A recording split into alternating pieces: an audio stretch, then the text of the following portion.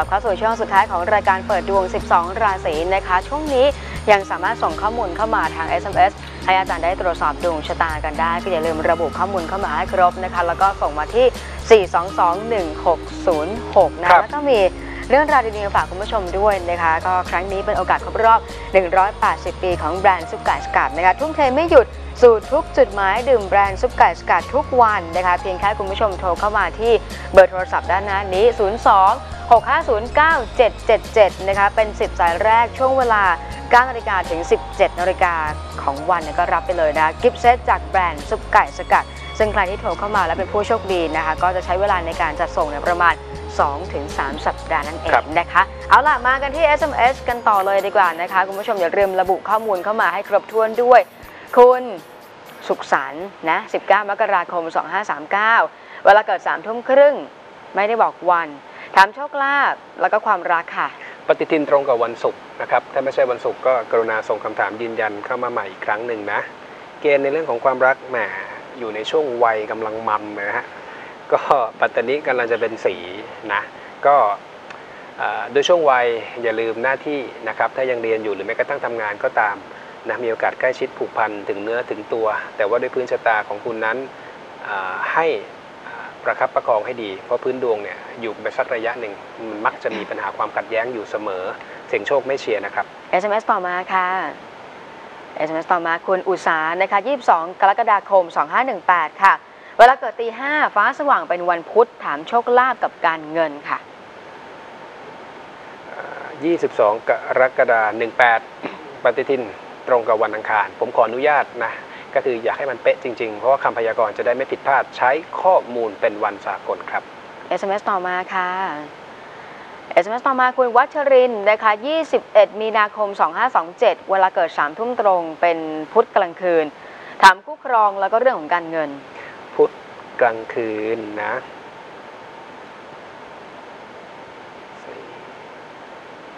เอ่อจะห่วงให้น้ำหนักเรื่องเรื่องเงินมากกว่านะครับ ให้น้ำหนักเรื่องเงินมากกว่า และก็มีมีโอกาสเหมือนกันนะ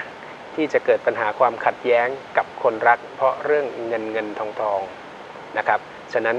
ช่วงเวลานี้นะครับซื้อหลอดไฟถวายวัด หลายวัดจะเอาตัวอย่างหลอดไฟที่ใช้จริงในวัดมาให้ดูลองไปศึกษาดูนะครับถวายแล้วจะได้ใช้ประโยชน์ ส่วน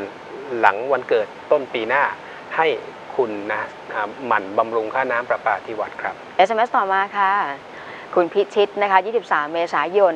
2507 ค่ะ เวลาเกิดเที่ยงถึงบ่ายโมง อยู่ลัคนาราศีอะไรเขาบอกว่าจังหวัดมหาสารคาม 23 เดือน 4 ปี 07 เนี่ย ปฏิทินตรงกับวันพระฤหัสบดีนะครับ เดี๋ยวลองดูนะ มหาสารคาม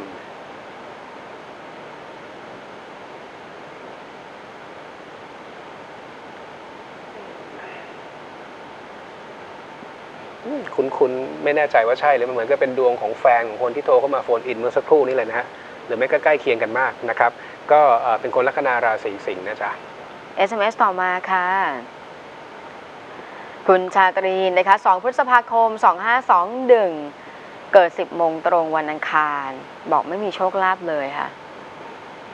อ่าจริงๆแล้วอ่า ในเรื่องของการเสี่ยงโชคนะถ้าคิดถึงป๊อปหรือความน่าจะเป็นเนี่ยมันก็น้อยอยู่แล้ว และดวงของคนที่จะประสบความสำเร็จในเรื่องการเสี่ยงโชคเนี่ยโหมันมันต้องมีหลายเงื่อนไข มีทั้งหลายปัจจัยธนะทรัพย์ธนโชค จึงจะสมหวัง แต่เอาไปว่าปีนี้เนี่ยก็ก็ซื้อติดไว้สักงวดละใบนะแล้วก็ของคุณปีนี้สภาพคล่องไม่ค่อยดีด้วย อย่าทุ่มเทจนหมดหน้าตักกลัวเหลือเกินในเรื่องของภาระหนี้นะครับของคุณช่วงนี้ก็ให้ซื้อกันไกลตัดเล็บนะถวายพระสงฆ์ครับ เบอร์โทรศัพท์06 ค่ะ 06 06เนี่ยอ่าอันนี้ก็มีส่วนในระดับหนึ่งที่ทำให้เก็บออมไม่อยู่นะครับขยับเป็นอ่า56 เป็นคู่ทรัพย์คู่โชคดีกว่าเยอะเลยครับ SMS ต่อมาค่ะ คุณอังคณาค่ะ 19 เมษายน 2536 นะคะ เวลาเกิด 9 นาฬิกาตรงวันจันทร์ถามความรักกับการเงิน รักกับเงินเป็นอย่างไร ตอนนี้ย่าง 23 ถ้ามีคู่และประคับประคองผ่านช่วงปีที่แล้วมาได้ ปีนี้ดีขึ้น ในทางกลับกันถ้าผ่านไม่ได้หรือยังไม่มี ปีนี้ถึงจะมีเข้ามาแต่เหมือนจะไม่ค่อยถูกใจ แต่จะเป็นลักษณะปลอดภัยอบอุ่นเขา supportขึ้นอยู่กับว่าคุณชอบเขาหรือไม่ ส่วนในเรื่องของการเงินกาลีก็จี้ไปที่เรือนอรินะก็ระวังชักหน้าไม่ถึงหลังหมุนไม่ทัน ของคุณอ่าช่วงนี้นะถ้ามีโอกาสได้เข้าวัดถวายปัจจัยทำเกี่ยวข้องกับเรื่องกับของกระเบื้อง มุงหลังคาโบสถ์พวกนี้ขอให้ทำนะครับเอาละนะคะมาในส่วนของเว็บบอร์ดกันบ้างดีกว่า คุณสันติ 7 ธันวาคม 2533 เวลาเกิดตีสี่ฟ้าสว่างเป็นวันศุกร์ค่ะ 7 ธันวาคม 2533 ตีสี่ฟ้าสว่างเป็นวันศุกร์ ถามเรื่องความรักบอกว่าโสดอยู่ แล้วก็ลักษณะเนื้อคู่จะเป็นอย่างไรบ้าง 7ธันวา33นะครับ2533ตีสี่ฟ้าสว่างวันศุกร์ค่ะ โอเคอ่าข้อมูลชัดเจนนะครับ เป็นคนวันพระฤหัสบดีในทางโหราศาสตร์อ่าเกณฑ์ความรักในช่วงอายุย่าง 25อ่าใกล้จะถึงวันเกิดแล้วล่ะนะ ก็เอาเป็นว่าดูเผื่อเลยในช่วงปลายปีนี้ที่กำลังจะมาถึง ก็ถ้ายังโสดจะได้เจอเจอคนที่ถูกใจนะครับแต่ในทางกลับกันถ้าถ้ามีคู่เนี่ยระวังจะจืดจางเบื่อหน่าย หรือมีความเปลี่ยนแปลงนะที่พูดแบบนี้ไม่ได้ยุให้มีรักใหม่นะครับประคับประคอง หลังวันเกิดที่กำลังจะมาถึงฝากระวังมีปัญหากับคนใกล้ชิดรวมถึงในเรื่องของอุบัติเหตุด้วย ให้คุณไปทำฟันผูดหินปูนหรือบริจาคโลหิตซะเอาละมาจ้ะในส่วนของเลิกษ์งามยามดีกันบ้างดีกว่าค่ะเลิกงามยามดีวันมงคลนะครับในช่วงครึ่งเดือนแรกนี้นะ ก็ลองมาดูกันนะครับ วันแรกเนี่ยเริ่มกันวันที่ 9 วันอาทิตย์นี้นะครับสามารถประกอบการมงคลได้ เพราะเป็นวันฟู แล้วก็ดีทีเรียงหมอนครับ ไม่ได้มีเงื่อนไขหรือข้อห้ามแต่อย่างใด 16นาฬิกา1นาทีถึง 16นาฬิกา30 นาทีคือช่วงเวลาที่ดีที่สุดครับ แต่คนที่เกิดวันจันทร์ควรจะหลีกเลี่ยงการใช้เลิกวันนี้ ต่อด้วยวันอาทิตย์ที่ 16 สิงหาคม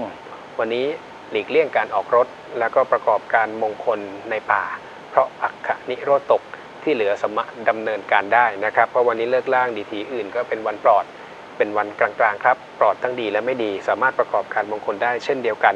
ช่วงเวลาที่ดีที่สุด9นาฬิกา31 นาทีถึง 10 นาฬิกา แต่คนที่เกิดวันจันทร์ควรจะหลีกเลี่ยงการใช้เลิกวันนี้ครับ ก็เป็นในส่วนของเรื่องงามยามดีนะคะนับตั้งแต่วันนี้จนถึงช่วงประมาณกลางเดือนสิงหาคมนั่นเองนะคะ แล้วก็ฝากข่าวถึงคุณผู้ชมด้วยนะคะเชิญชวนทุกคนมาร่วมนะงานงานกุศลกันนะคะกับงาน Charity Day for Bright Children นะคะที่ชั้นล่างอาคาร Times Square ค่ะวันอาทิตย์ที่ 9 สิงหาคมนะคะเวลาประมาณบ่าย 3 โมงเย็นถึง 6 โมงเย็นเป็นต้นไปนะคะ สำหรับงานในครั้งนี้ค่ะ ในบางส่วนก็จะได้ฟังนะคะการเล่นดนตรีของเด็กๆนะที่อ่าเขาตาบอด รวมไปถึงพูดคุยกับคุณอลงกฎชูแก้วค่ะนักอนุรักษ์ป่า แล้วก็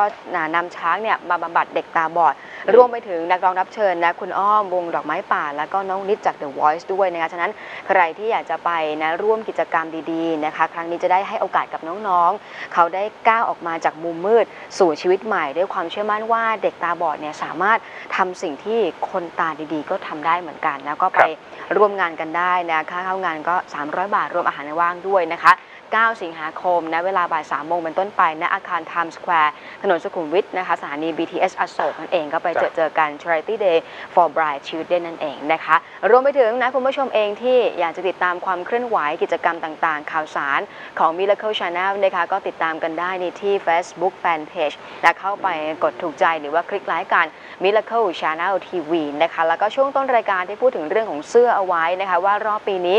เราอยากจะได้มีโอกาสนะได้สวมใส่นะเสื้อที่เป็นที่ระลึกกัน ซึ่งครั้งนี้ก็มีชื่อที่สวยงามมาก คือเสื้อกตัญยุตาบูชาแม่ ด้านหน้านะคะเป็นรูปพระพุทธปาฏิหาริย์จอมราชัน ส่วนด้านหลังนี้นะคะก็นะเป็นคำที่ไม่เชื่อเหลือเกินว่าทุกๆ คนระลึกถึงพระคุณของแม่ค่ะปาฏิหาริย์แม่นี่เอง แล้วก็ครั้งนี้นะคะเมื่อปีที่ผ่านมาเราใช้คำว่าศรัทธาครูบูชาแม่ ครูคาถาเลขจิตก็ได้ทำเสื้อขึ้นมาเนี่ยด้านข้างก็เป็นมีคำว่าครูคาถาเลขจิตด้วยนะซึ่งครั้งนี้ใครอยากจะมาร่วมกิจกรรมการพิธีดีๆ เกิดขึ้นนะ 12 สิงหาคมนะคะสำห